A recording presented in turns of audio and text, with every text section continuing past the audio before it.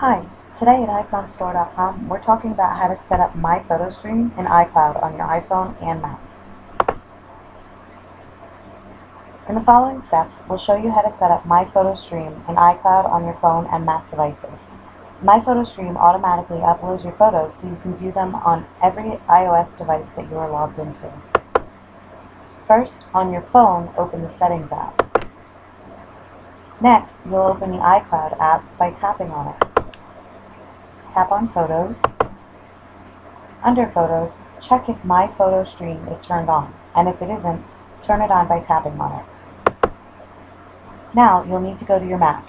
Open the iPhoto application. Look in the top menu. Click in iPhoto and then click on Preferences to open up the Options app.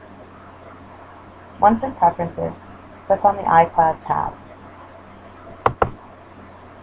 Within this tab, make sure that My Photo Stream option is checked. If you wish to enable photo sharing on your Mac or iPhone, you can also do so by checking the photo sharing option within these settings. By using the My Photo Stream, your photos are automatically uploaded to your secure iCloud account and are ready to be viewed on any iOS device that you're signed on to. If you'd like more information about PhotoStream, check out these helpful resources.